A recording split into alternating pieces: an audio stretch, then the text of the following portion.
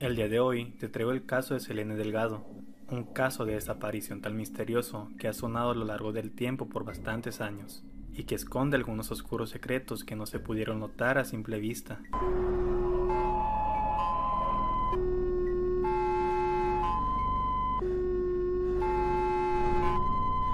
La raíz de esto tiene lugar en México, entre los años 2000 a 2010 aproximadamente, en el famoso Canal 5 durante una sección llamada Al Servicio de la Comunidad, en el cual se daba a conocer gente desaparecida con el propósito de dar difusión a los hechos y que la comunidad pudiese ayudar a dar con su ubicación. Cabe mencionar que dicho segmento por sí mismo era algo que fácilmente podía transmitir temor e incertidumbre a las personas más jóvenes e incluso a las mayores, por el simple hecho de la ambientación, fotografías usadas de mala calidad o los pensamientos del receptor sobre las víctimas y su paradero. XHGC Canal 5, al servicio de la comunidad. Pedimos ayuda para localizar a Víctor Gama Tavera, de 20 años de edad.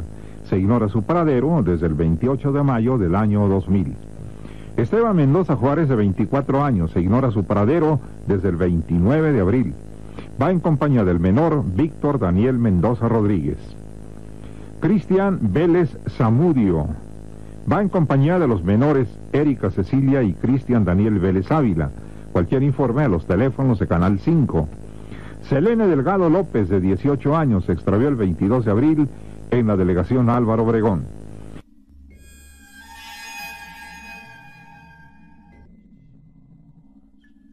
Lo que diferencia a Selene Delgado de los miles de personas que tienen difusión por televisión y otros medios es un hecho muy interesante que le hacen resaltar con creces.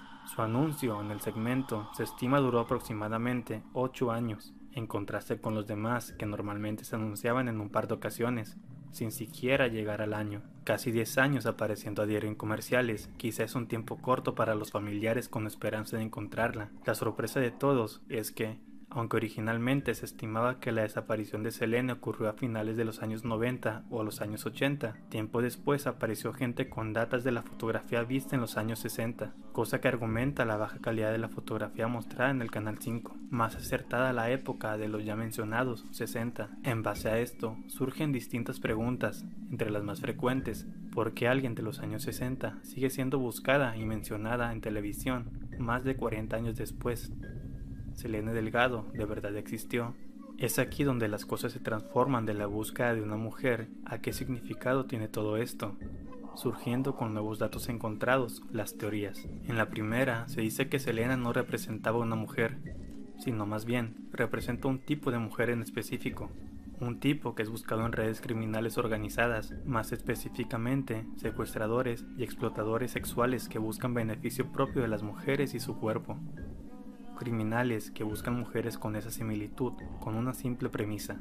La policía no hará un gran esfuerzo en buscarlas a ellas. Esto último lo digo apoyado de testimonios de internet de gente que ha llegado a trabajar en cadenas de televisión y que los jefes, presionados por gente de poder, han decidido dejar estos casos sin mención, perdidos en la nada, sin explicación lógica.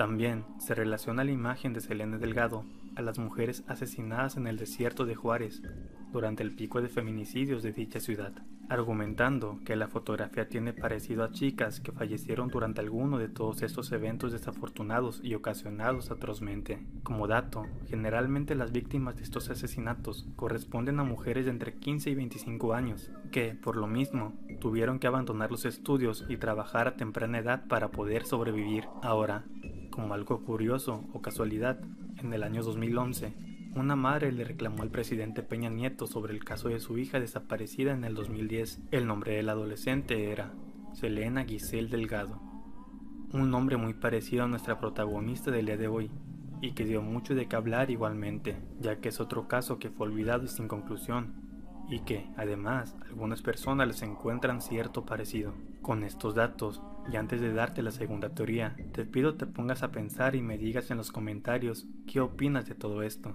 Ahora bien, la segunda explicación que se intentó dar a todo este revuelto es más simple y fácil de digerir. Para esto, debes de saber que en Estados Unidos existe un término utilizado para llamar a los cadáveres de mujeres que no han sido identificadas. Dicho término es Jane Doe. Se dice que Selena Delgado es una especie de Jane Doe, un simple término con la diferencia de que Selene es utilizado no solo para cuerpos, sino también para mujeres desaparecidas. En este caso, Selene Delgado es una forma de categorizar este tipo de cuerpos y desapariciones en circunstancias misteriosas, que son representadas por una fotografía vieja de alguna chica que desapareció en el pasado. Y hasta aquí llegamos con los datos que pudo obtener de mayor impacto verídico, aunque existe una tercera teoría, que más que eso se puede llamar como leyenda urbana. En esta se dice que Selene Delgado sí existió, que era una de las chicas que fueron asesinadas en Juárez con la atroz distinción de que a ella le fue mucho peor que cualquier otra. La historia cuenta que ella fue raptada una noche de vuelta a casa.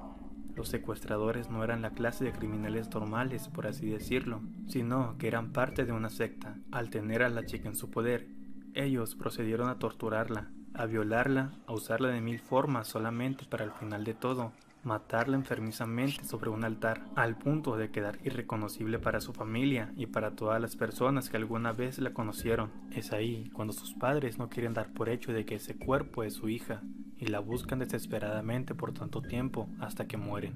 Y entonces dime, ¿qué opinas del caso de Selene Delgado? ¿Cuál es tu teoría o cuál apoyas más? ¿Es una simple conspiración o es una simple leyenda urbana? Si te gustó el video, te invito a darle like, a suscribirte a mi canal, sin olvidar poner la campanita y a compartir con tus amigos. Eso me ayudaría bastante. Y en caso de que te interese saber un poco más sobre mí, mis redes sociales se encuentran en la descripción del video junto a unos enlaces a las comunidades amino que más frecuento.